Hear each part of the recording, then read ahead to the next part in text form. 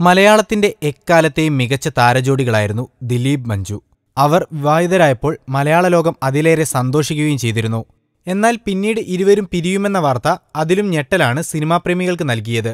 അപ്പോൾ മുതൽ ഇരുവരുടെയും ദാമ്പത്യത്തിൽ വിള്ളലുണ്ടാക്കിയത് ദിലീപ് കാവ്യ വഴിവിട്ട ബന്ധമാണെന്നും വാർത്തകളിൽ നിറഞ്ഞിരുന്നു. ഒടുവിൽ മഞ്ജുവിന്റെ ആരോപണങ്ങളെല്ലാം ശരിവെക്കും വിധമാണ് കാര്യങ്ങൾ നീങ്ങുന്നത്. വിവാഹം സംബന്ധിച്ച് ഇതിനകം ഒട്ടേറെ തവണ വാർത്തകൾ വന്നപ്പോഴെല്ലാം നിഷേധിച്ച് രംഗത്ത് വന്നിരുന്ന ദിലീപും കാവ്യയും പുതിയ വിവരം സിനിമയിലെയും പുറത്തെയും ഏറ്റവും അടുത്തവർ ഒഴികെ അതീവ രഹസ്യമാക്കി വെച്ചിരിക്കുകയായിരുന്നു. ഇവർ രണ്ടുപേരുടെയും രണ്ടാം വിവാഹമാണിത്.